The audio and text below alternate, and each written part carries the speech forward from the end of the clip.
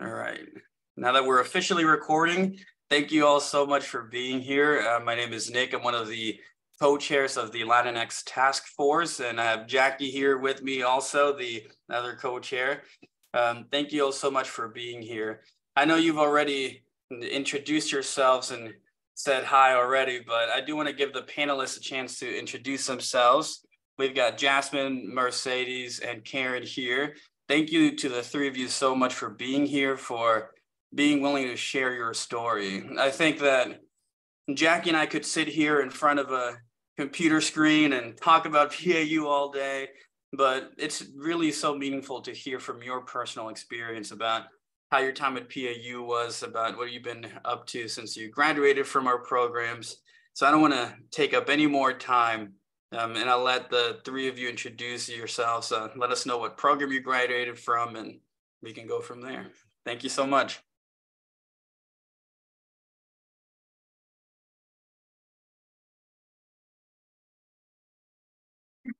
Uh, I can go first, I guess.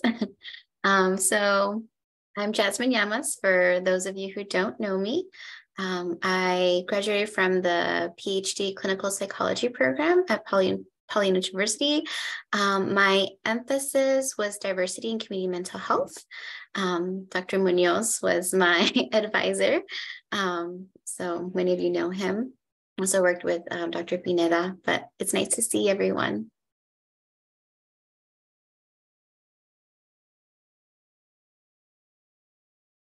I can go next. Um, oh, sorry, Karen.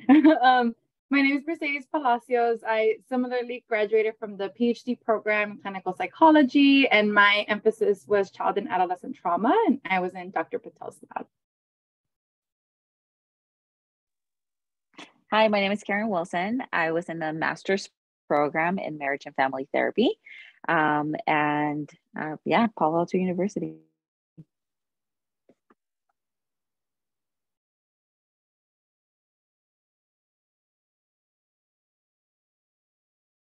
All right. Thank you again for being here. Um, so we can just move on to the next section. If I know we've talked about each of you kind of sharing your story, telling us what you've been up to since PAU. Um, so whoever wants to go first, go for it.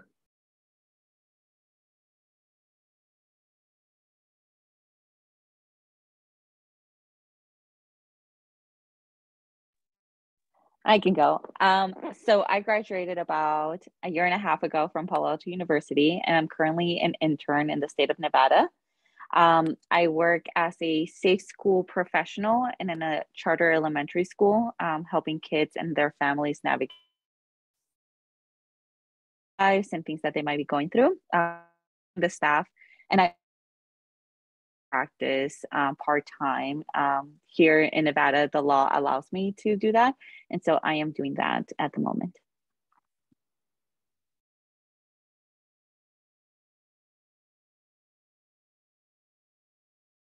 Um, I can go next. Um, so I graduated in 2022.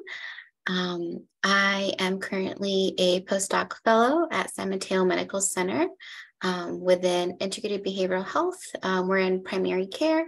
Um, so we work with um, low income, uninsured, um, minority communities um, to provide short term therapy treatment. So short BIs, total change from the 60 minute, it's 30 minutes and we get six sessions with them. so it's been a really great experience there. I mostly provide services in Spanish. Um, and I also do a rotation at the pain management clinic as well there too.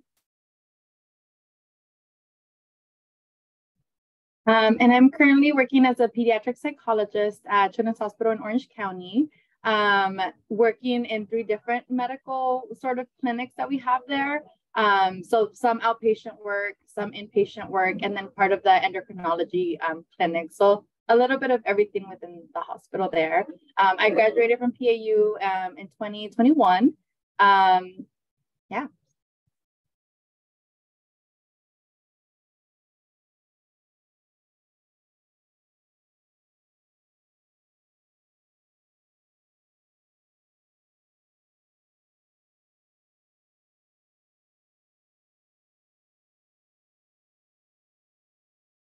just to did, did you all want us to just start our 15 minutes and just kind of spend more time in, in our, our past or do we want to just answer questions questions individually? Would you prefer to uh, just talk about your experience and what has been helpful uh, for you? Or do you want us to ask the questions and just let whoever wants to answer whatever you prefer? So we're thinking each of you can just talk about your experience uh, and then at the end we can ask questions but yeah, yeah, that sounds good. So do you want us to just do our 15 minutes like mm-hmm. yeah. Yeah, yeah, please. Thank you. Karen and, and Jasmine, do you guys have a preference or do you want me to just You can start. okay, sounds good. Um, just want to check in. Um, so I will really briefly share some slides, mainly because it helps me just stay organized. So I just created um let me share. Okay. Um, so I would just briefly, you know, I already introduced myself, but wanted to share some of like the training background and how I kind of got to where I am now. Um, are you all able to see the slides? Okay. Yes. Yeah. Okay. Awesome. Um, so before coming to PAU, I um, went to UCLA for my undergrad uh, got my BA in psychology. Um, I got my master's at Pepperdine University, and I also had an uh, emphasis there in marriage and family therapy. Um, so I did get licensed as an MFT prior prior to starting my PhD journey. Um, like I previously mentioned, I you know graduated with a clinical psychology PhD, uh, emphasis in child and adolescent trauma. I was in Dr. Patel's research lab, the Cultural Community and Global uh, Mental Health Lab. Um, a lot of my research there focused on immigrant, Latinx immigrant youth. That's what I did my dissertation on, and that's an area in, in general Latinx mental health that I'm really passionate about. Um, to share just some of my previous sort of practicum experiences, um, I was part of La Clinica Latina at Gronowski Center my first year of training. Um, then did a practicum at Kaiser um, in the Richmond Kaiser. Uh, and then I was at UCSF Benioff Children's Hospital, Oakland, um, part of their behavioral emergency response team there. Um, I did my internship at Children's National Hospital in DC, uh, and then my postdoctoral fellowship at Children's Hospital of New York Presbyterian. Um, within a lot of my training experiences, I'll just share too, like what my thought process was as I was, you know, choosing some of the training sites. And for me, I really wanted to gain as much as like varied experience as possible because I did come in with my MFT training, a lot of my previous training was in schools, um, doing home based work. So when I was applying for positions um, through my PhD program, I was like, okay, what can I do that's different? So I really tried to prioritize being in different settings because I felt like that is what would help me maybe be more competitive. Um, and I also was exploring like, what do I like? Where do I want to be? Do I want to be outpatient? Do I want to be, um, you know, in an inpatient setting? when I worked at UCSF Benioff Children's Hospital, it was mainly in the emergency room. Um, so for me, I prioritize let me do as many different things as possible and figure out what I like from there. Um, I ended up doing my uh, internship that was very PEDS heavy and very PEDS based. Um, so a lot of my rotations were um, within the hospital. I did some outpatient work. I worked at an inpatient um, unit for a few months and then got training in pain psychology and endocrinology. Primary care. Um, so it was a lot of different short rotations. Uh, I, when I was thinking about what where to go for internship, I also prioritized positions that could give me that ver- variety of experience. Um, that way, by the time I was applying for postdoc, I would know what I would really like and um, uh, specialize in that a little bit more. Um, when I was in internship, I really loved being in the inpatient unit. I loved learning DBT. I was really attracted to the acute care services. Um, so my postdoctoral fellowship, I prioritized acute care and trauma. Um, and that's where I got to really specialize more in DBT. I was part of a comprehensive DBT group um, and was able to also do that bilingually and prioritize settings that could give me that, where I was able to um, learn from supervisors that spoke Spanish and was able to kind of help with those services. Um, so that's a little bit about just my journey there. Um, something that I wanted to highlight too is just um, I know one of our questions in terms of this talk was, you know, what helped you kind of get to where you're at now? And I would say for me, it was doing a lot of just extracurricular activities, doing beyond maybe what I was expected to, you know, to do. Um, so one thing that I always tried to do that PAU was really great at is pay attention to any announcements that were given or any like additional opportunities that came up. Um, I did a freedom camp, which that was something that PAU also advertised, and I was like, oh, that sounds cool. Um, it was with younger kiddos, and it was um, getting exposure to um, how to treat selective mutism. Um, so that was one area where I don't specialize in like early childhood, but I was like, that might give me that experience of getting a sense of, you know, what what in, that entails, getting used to a, a, different diagnosis that I hadn't been exposed to as much. Um, another program that I was part of is the Paseo program, um, and that was a Spanish elective program in Peru where I, it was just incredible, able to take a few classes in Spanish, able to do practicum positions there. Um, very short term, was like about a month and a half. But similarly, you know, I learned about it through someone that previously had done it at PAU. So trying to take advantage of the pieces that I knew, you know, I would be interested in. Um, I did additional assessment opportunities within um, my my practicum experiences, just because some of the practicums that was it didn't have a lot of assessment. So I prioritized okay, what am I missing? How do I fill some of those gaps? Um, because I had an MFT, I also did private practice, so that was really helpful. Um, and another piece where PAU is helpful is they have a lot of leadership opportunities or a lot of opportunities to work with others. So I was a clinic manager. Um, I took on TA positions, and I also looked for leadership positions like within where I was at. I, I was lab manager. Um, I tried to join different committee, committees. I was part of LTF, you know, while I was at PAU. Um, so I think just uh, my a, a, big recommendation for me is like look for things that you're passionate about, and a lot of the times that just builds skills that will be really helpful to you know be able to accomplish or go where you want to go. Um, and then just a little bit more about where I'm at now. Um, again, I'm a pediatric psychologist at CHOC. Um, I'm part of three different clinics. One of them is the medical coping clinic, and that's just short term outpatient mental health services. We do diagnostic evaluations, various medical conditions um, throughout the hospital. And really, we focus on, on adherence, pain management, adjustment, things that could be solved short term or solved or worked on short term. Um, and then if, if they need additional support, we help with community um, connecting to um, additional referrals. Um, I'm also part of the endocrinology clinic um, where we do depression screeners for patients um, with diabetes diagnoses. And then I'm in, I'm involved of doing the risk assessment, evaluation, uh, and then for kiddos that need additional support, I do see them short term from that, from those evaluations. Um, and then I'm also part of the pediatric consultation liaison service, um, where we get consults or pages from throughout the hospital and able to um, engage in uh, any sort of evaluation that might be needed. Some of the common ones that we do see are eating disorder evaluations, suicide evaluations, and then somatic um, symptom disorders. Um, so that's one of the pieces I do. And then just to end it with some of the tips, and I've tried to throw, throughout as I describe my experiences. Um, I would say one of the most important things is networking and, and really being sure to establish professional connections. Um, my recommendation would be to reach out to faculty, faculty members, mentors, you know, TAs, anyone that you might know might want to like you know get a closer connection with and be open to sharing your interests a lot of the positions that i was able to get was really from sharing my interests with one person and then whenever it came up with someone else they're like hey this this person really likes this or um, sending me an email of hey this sounds like it would be within your interest um, so I did that a lot where it's like, hey, let me share with other people with what I want to do. Um, and that's been really helpful. Um, and I would say do that in any position and no matter where you're at. Um, currently in my position, I don't do a lot of what I really love to do, which is more DBT work, acute care work. Um, and I've been sharing that where I'm at, and we're working on creating a depression clinic. So I, I think that's a big thing for me where sometimes in the past I was just more quiet and didn't really talk as much about what I wanted to do. And I realized like how helpful that could be. Um, and I would say reaching out and emailing others that have similar interests. Um, and sometimes, you know, I think in PAU, it's really helpful because people know other people and other interests that they might have. So they might tell you, um, be able to guide you to where to go. Um, another big part is joining organizations, student groups, committees.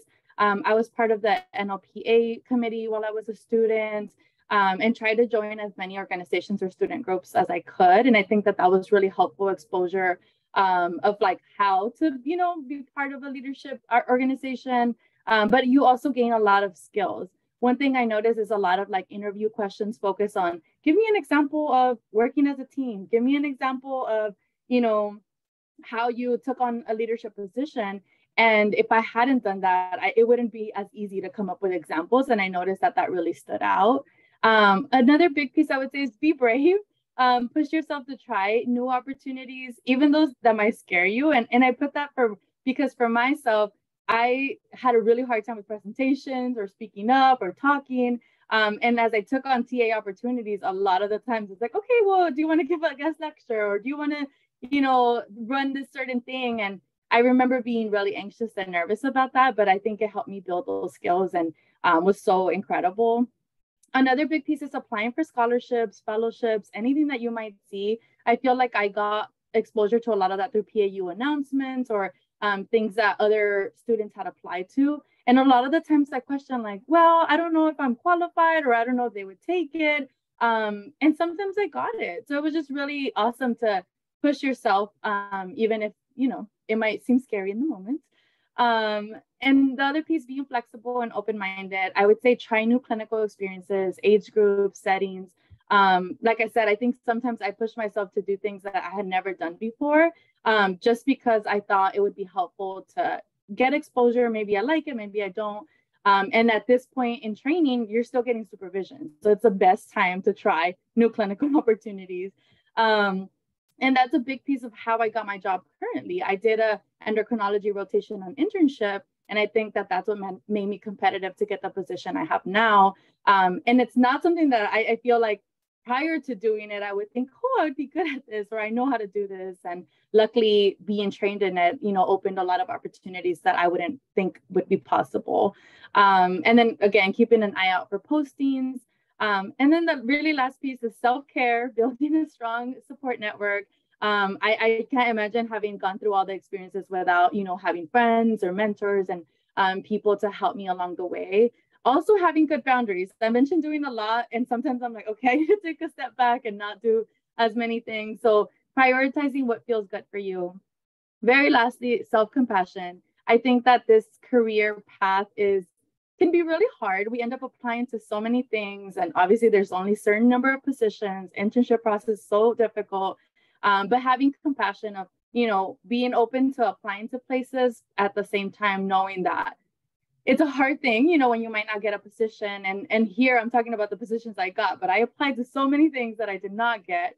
So I think uh, keeping that in mind, right? Like, how do you take care of yourself as you're in this journey of this career that puts puts you in that position to potentially apply to things that you might not get. Um, and I think that sometimes that's not always talked about. So I wanted to just make sure to bring that up and um, yeah, just having that support network for yourself. So that's hopefully my 15 minutes and we'll take questions at the end.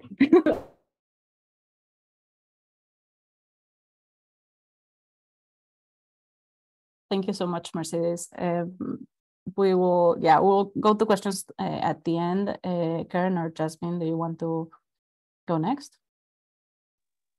Yeah, I could go. Um, so I don't have a presentation, but I do kind of have a little bit of my backstory and kind of um, how PAU has.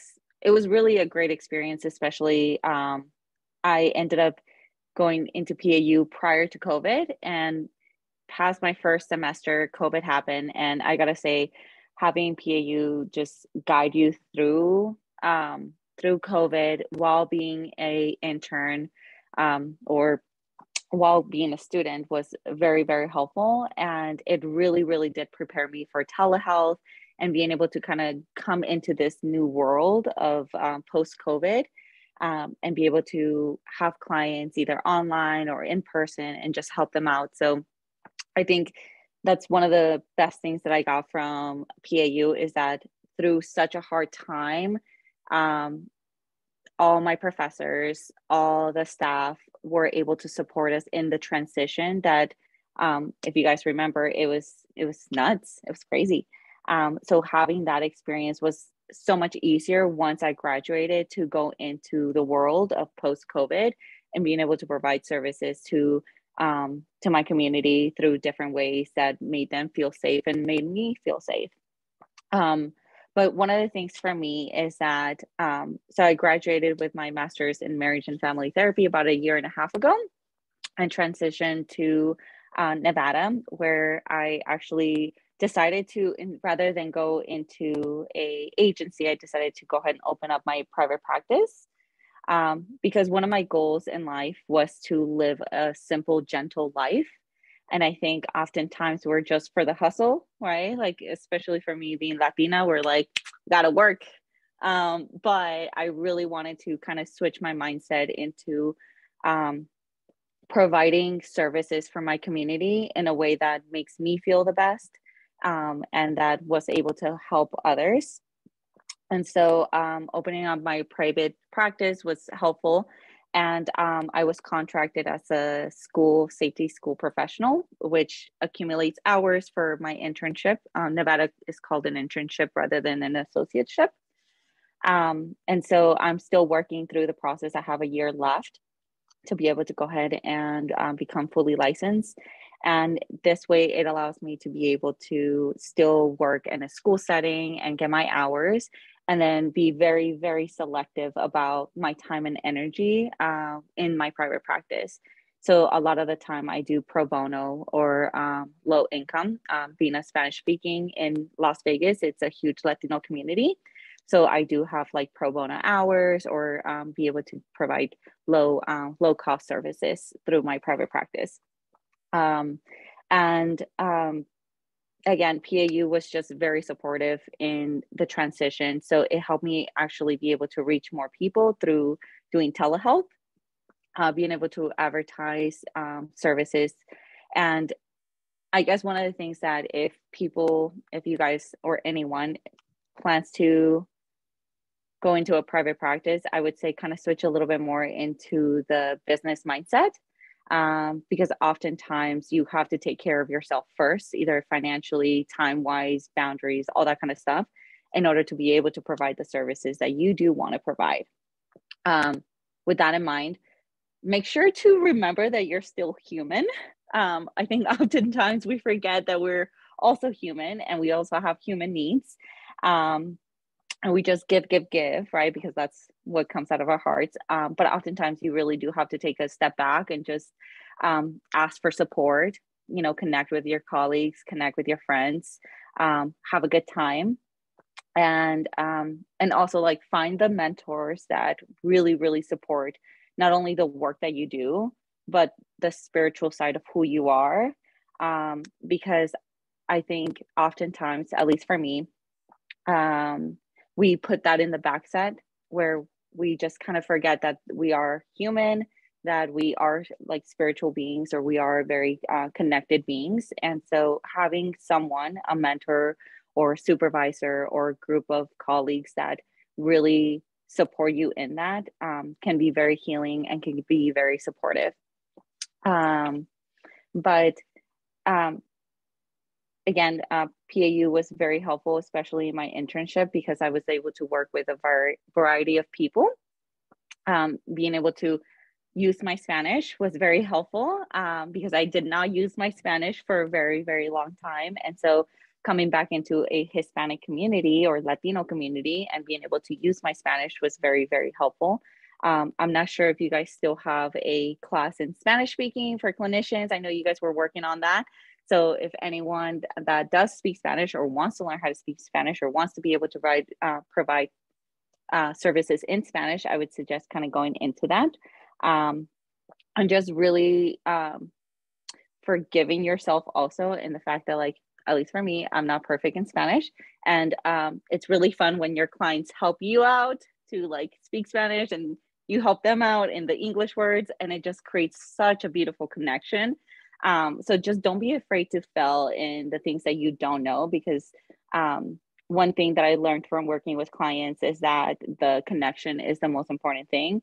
And when you fail, they'll pick you back up. And when they, they fail, you'll pick them back up. And it's just wonderful. So work on your Spanish, but don't be afraid to fail. And um, just be extremely selective of where you put your time and energy. Um, you are a resource that um, has limited hours.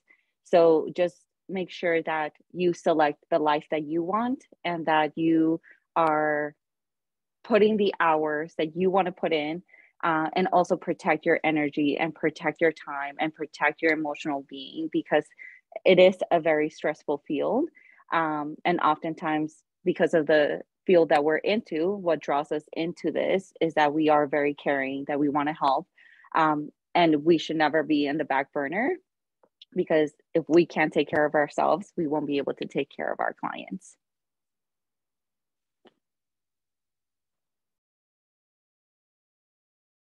Thank you so much, Karen. Um, Jasmine, do you want to go? Yes. Um, so once again, my name is Jasmine Yamas, um, and my emphasis at PAU was diversity and community mental health. Um, I was part of Dr. Munoz's lab, i4Health, and worked with him and Blanca. Um, I was able to get a lot of opportunities working in his lab. So that is just a little pivot of a tip organization to really work with um, your lab. Um, they're your support and they're able to help you look for different opportunities in either research or training. Um, just got to talk to them. And so currently I am working as a postdoc at um, San Mateo Medical Center. Um, I've actually stayed on for two years now.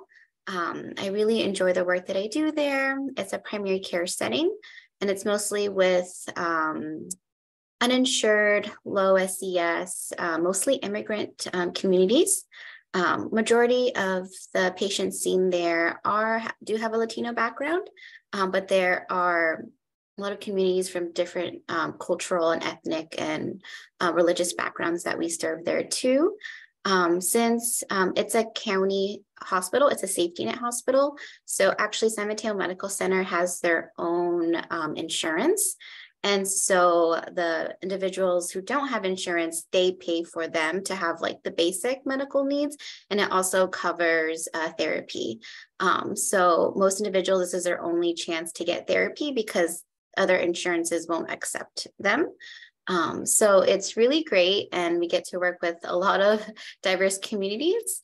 Um, even though my emphasis was in diversity and community mental health, there's so much trauma. And that's something that I, you know, was not that shocked, but not like fully aware that that was going to be majority of the work being done there. Um, but it's really lovely. We get to work with the primary care doctors. Um, we're really um, respected and valued on the team.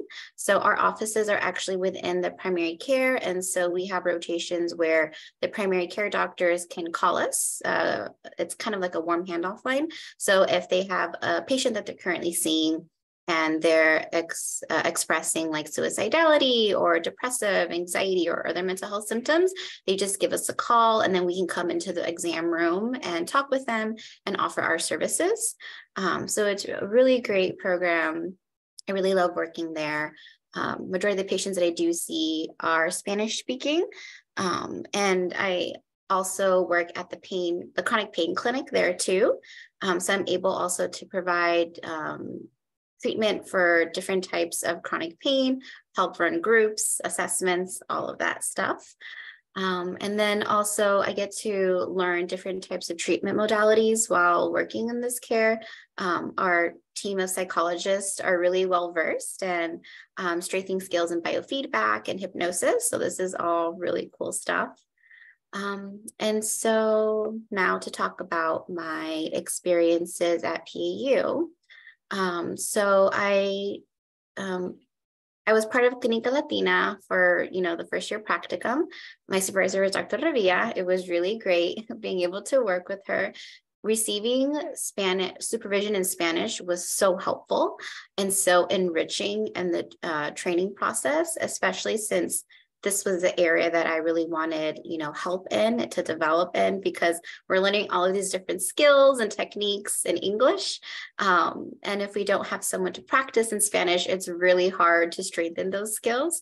And so I really appreciated, you know, my time with Dr. Revilla. I learned so much from you. Um, and it was just a really great experience.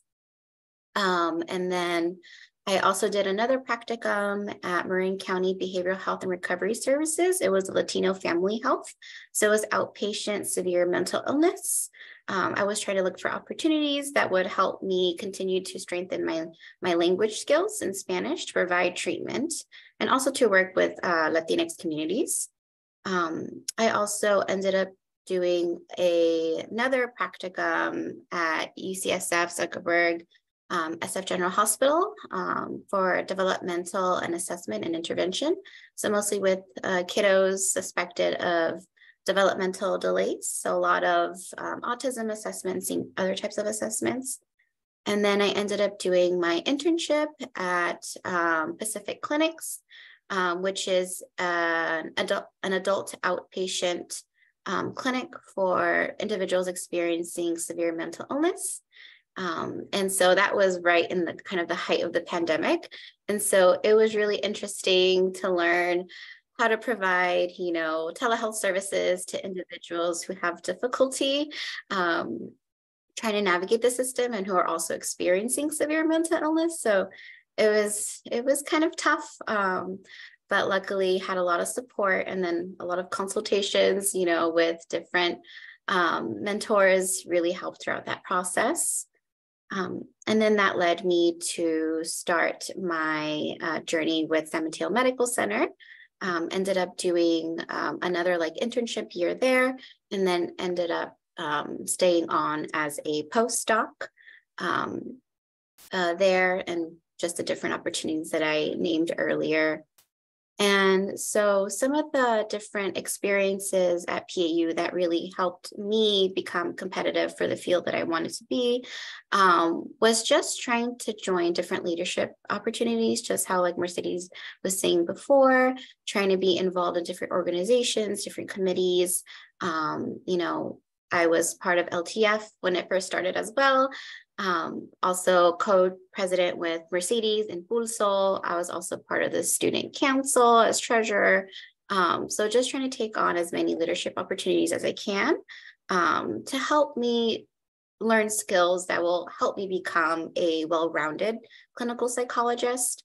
Um, and then also just joining the different you know opportunities and like happy hours and you know student orgs uh, whatever, you know, I can't think of the word right now, like get togethers that they would host, um, just to help connect with the students because we have so much work to do, um, so little time, and just being able to step out and to just interact with our other, you know, student, you know, colleagues, cohorts. It's really great. Um, and another tip too is just to like really build those study groups. I know for me, having a strong study group, having a strong like friend and support group is what really helped me navigate this whole, you know, education process. You know, booking couple rooms in the library and then coming in on the weekends to study together. Um, that was really helpful and also just networking being able to talk with you know the the students who are in later years, asking them what opportunities they did, um, networking, just talking around, expressing interest. Um, that's all really helped me stay connected to the different opportunities that I was able to participate in. Um, and also just talking to your advisors, um, talking to the people in your group. If you're interested in like helping out in a research study um, or if you're wanting publications um, talking to them, learning how to be able to do that for yourself. It's all was really, really helpful.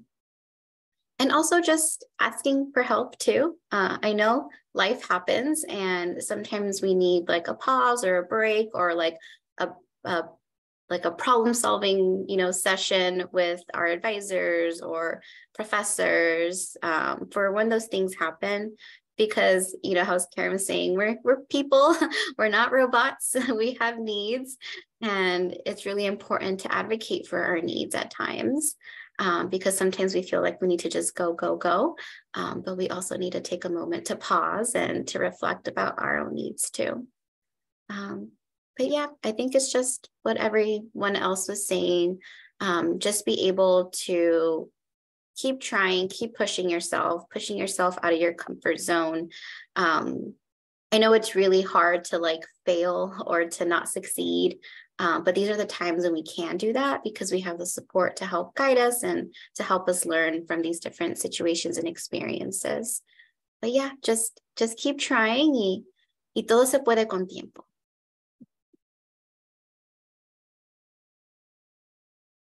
Thank you, everybody. I think you're um, you're you have very different positions, and it was great to hear how you are serving different populations, how you got where you are, and how you are like dealing with different challenges. Uh, so we're going to open it up to everybody. If you have questions, this is a great time to ask either a specific panelist or just to everybody, and uh, they can they can answer if they have an answer to your question. I don't have a question, but I, I, just have a comment. I just wanted to let Mercedes know. Mercedes, you were involved in writing the Hispanic Serving Institution um, uh, initial uh, study as to how that was that would happen and all of that. I don't know if you know, but now we are an HSI. We got it right. So your work uh, your work paid off. I mean, it took a long time for it to happen, but it happened. So sometimes these things you do, as as as you and Jasmine and Karen have been saying, you know, you you gotta get in there and and do stuff. I mean, if you see there's something missing in your institution, something that's not happening, start getting it to happen. And you know, you're not gonna win every battle.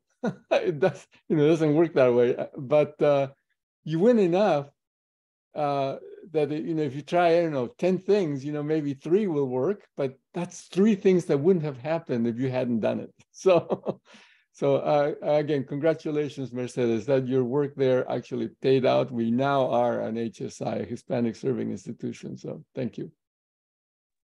Thank you for mentioning that. that. That's incredible. I know when I heard about it, I was so happy and, and just amazing to see that too. And and yeah, when we started, it was just research. I'm like, who has HSI? How do we get it? You know, it was like asking hmm. those first questions. And yeah, it's incredible.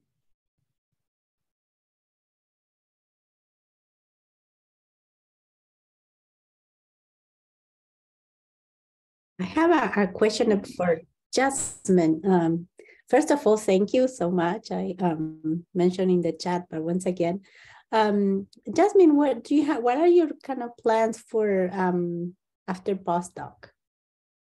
So I'm hoping to stay on at San Medical Center. Um, just seeing, you know, if things will end up working out in that way. But um, I really like working in primary care, especially with like the communities that we work with, especially since, you know, I, I literally, this is the first time that I've, I don't remember all of my patients. I have like maybe 40, 40, 50 patients that I have on my caseload right now. And it's because like there's no one else I can see them, right?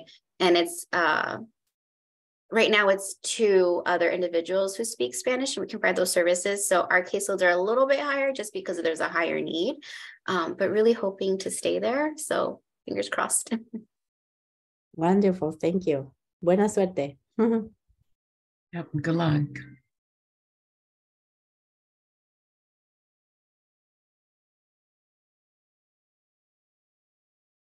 You all look so young. so, so young. It's kind of crazy to think that you, all the work that you guys are doing. So proud of you guys.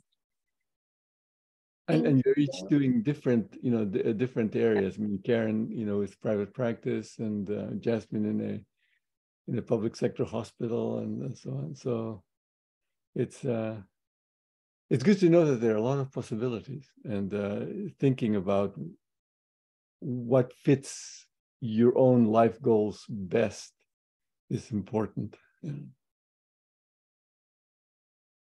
Karen, I have a question for you. So I, I'm wondering where you did practicum. I don't remember if you answered that. And then how was the transition like from that, from practicum to private practice? Um, so I did my practicum at ACI, Asian American for Community Services, I believe, or something like that.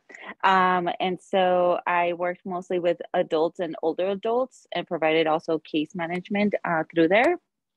Um, going into, I always knew that I wanted to go into um, into my own private practice or opening up my own agency. Um, so when I went into that agency, I was able to see kind of the structure that they created. Um, they were able to have policies and procedures that really made sense to me. And so I grabbed a lot of the information and the way they manage things and use that um, to be able to restructure my own private practice. Um, and again, it's only my own private practice at this moment. So it's just me. But a lot of the things that uh, they did and a lot of the things that um, how they manage uh, case management or anything like that was extremely helpful um, on my side. So I knew that they had like um, accountants that they went to. So I made sure to get my own accountant. I knew that they had people that you could go to for questions. So I made sure to create myself a uh, network of people that I could go and ask a question to. Um, so again, is it was different because although I went in um, to do my practicum and provide services, I did um, ask those like business questions. I did uh, look into their policies and procedures, um, and I did try to grab a lot of their information and restructure it for what fit for me. Thank you for sharing on that.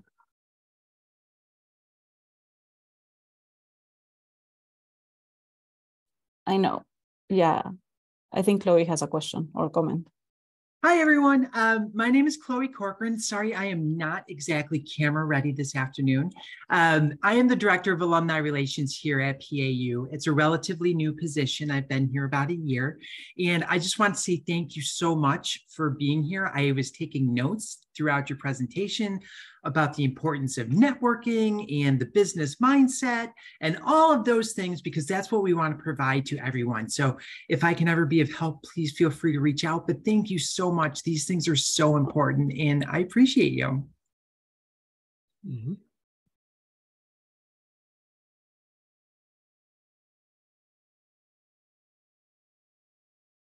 You see Myra's uh, question in the chat?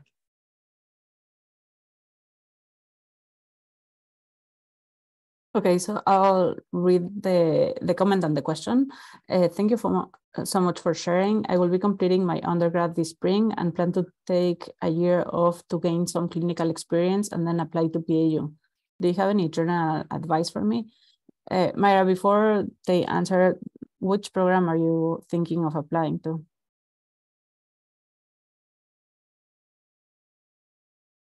Hello, hi. Um, I'm thinking about applying to the PsyD program.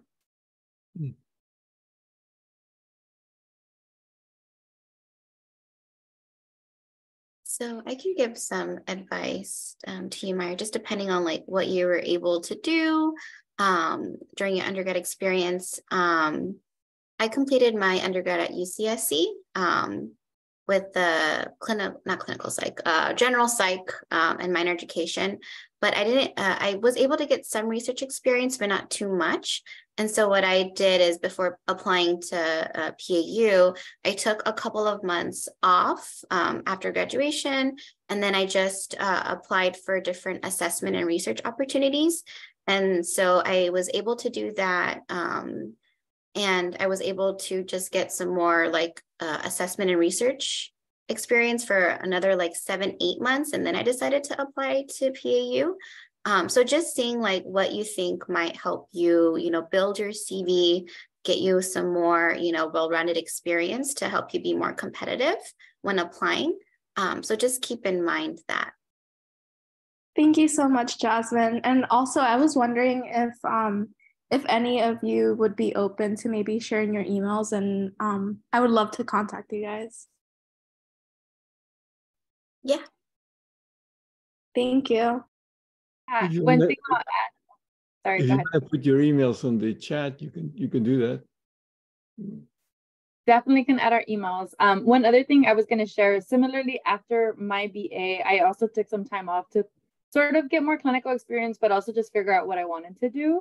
Um, I ended up doing um, ABA therapy, um, which I felt like was closely aligned to psychology and a lot of the you know pieces that I had learned. So I did that for about two years and um, really enjoyed that and was um, you know a really helpful learning opportunity. Um, and because I hadn't decided exactly what type of degree I wanted to pursue in terms of the doctorate level, that is actually why I did my master's first. I was like, you know what? Like, I know I want to do psychology. I think that at least I can start doing this.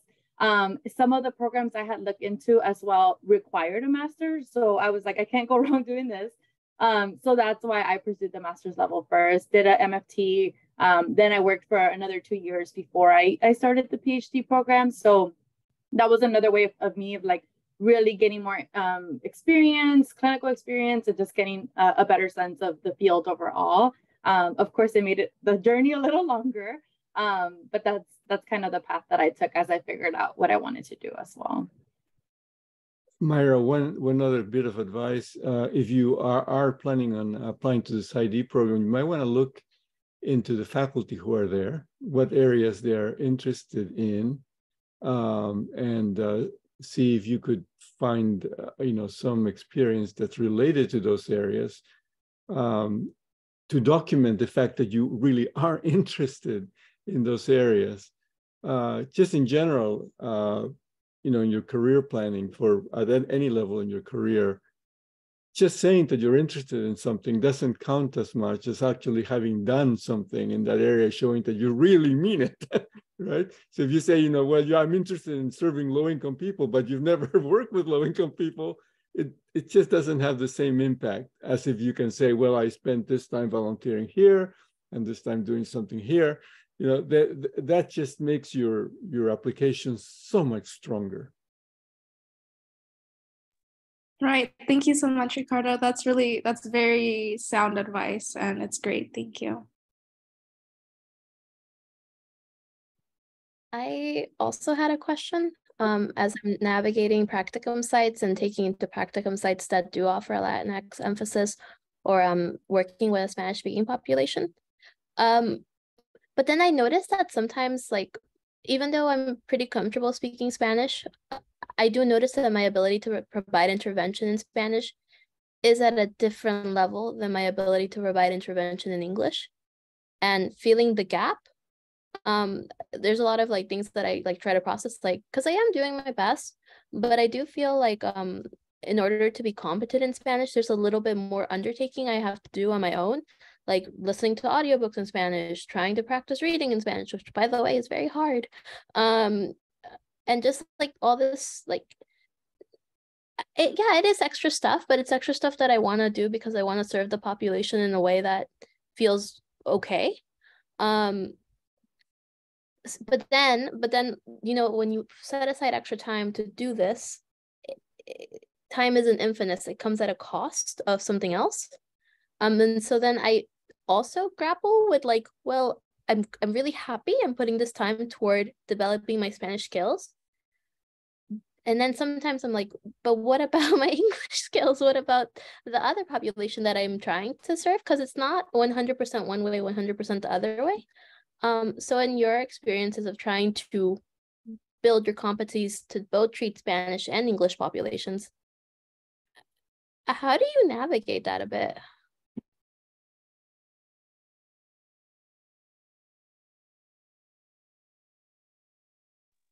Um, I always say give yourself grace.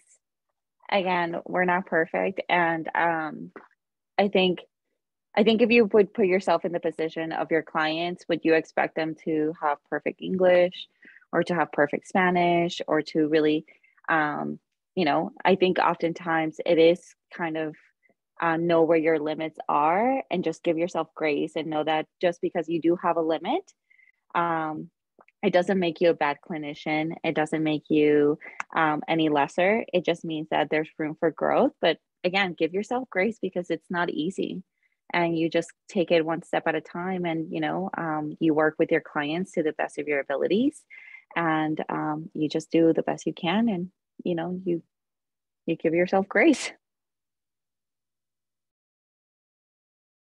also actually, say, i'm sorry go ahead go ahead dr Mias.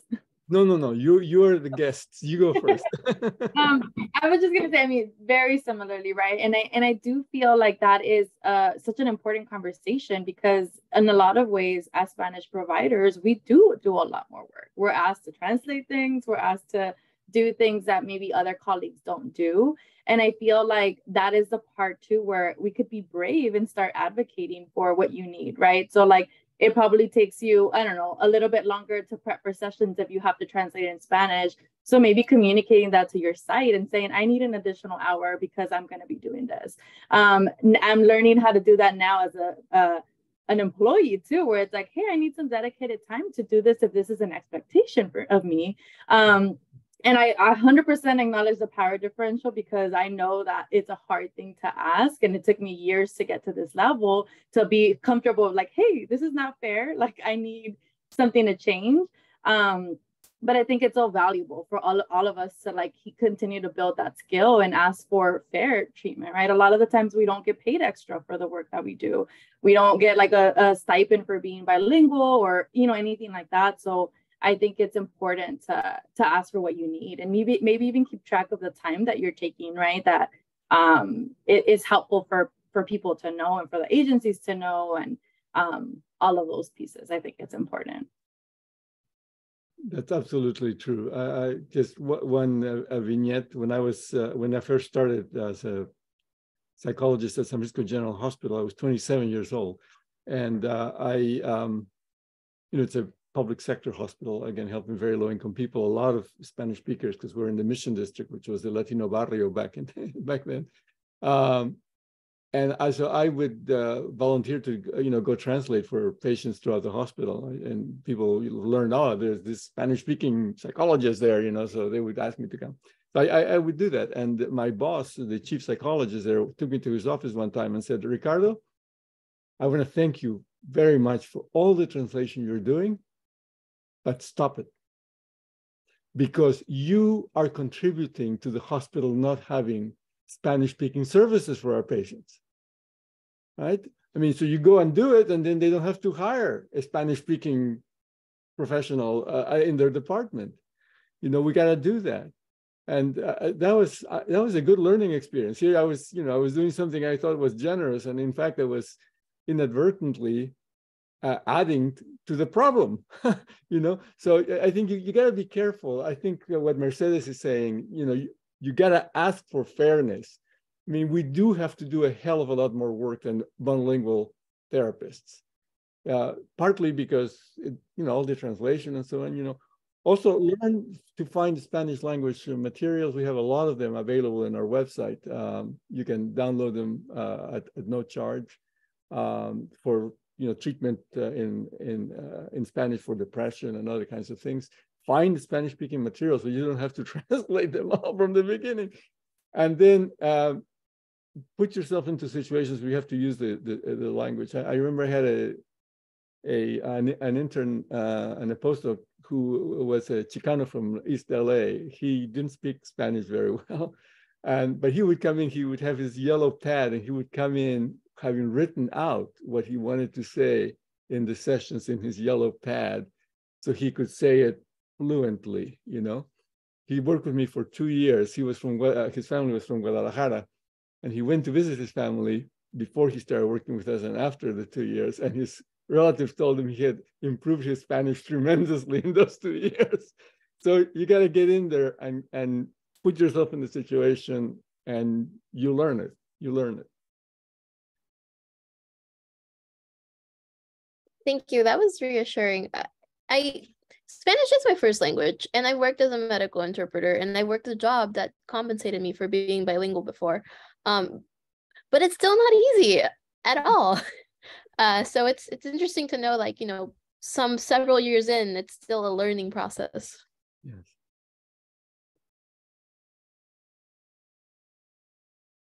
I just need to say that I'm so so proud um, of course, uh, Karen, it's, it's, great to to meet you and to see you, and and I'm so proud of uh, Mercedes and Jasmine. Um, where are they now? And I know how much they really work so so so hard, but it's so good that at the end they are really um, doing what they want to do. They are being valued and appreciated, and uh, they are so nice and healthy and it's beautiful. So, and Dr. Munoz, you know, remember that we have 6% chance of um, psychologists that are, um, you know, bilingual and serving. But now I think PAU is helping to maybe increase that number. And I'm really, really proud and excited. And oh my gosh, so good to see. Um, and thank you, Mercedes and Jasmine, for for the presentation, and of course, Karen, Yes. your Also, experience. Estoy bien orgullosa. And the best of luck. Yes. Good. Gracias Thank por you. ayudar a resolver los problemas que existen. Mhm. Thank you. Thank you for having us. And, and I think that that's another, you know, highlight of why I even went to PAU, right? Having Clinica Latina, having like this emphasis on wanting to do this work and and all of you for all your help and support and I can't imagine have done all this without all of the the mentorship and support from you all as well. So so so happy to see LTF growing and continuing to do amazing things. Thank you so much for being here and for sharing your experiences and for taking the time to, to prepare for this. And thank you everybody else for being here. And uh, and yeah, so we will send you an email when we have the, the video on the website so you can all access it. Thank you so much. Thank you. Bye.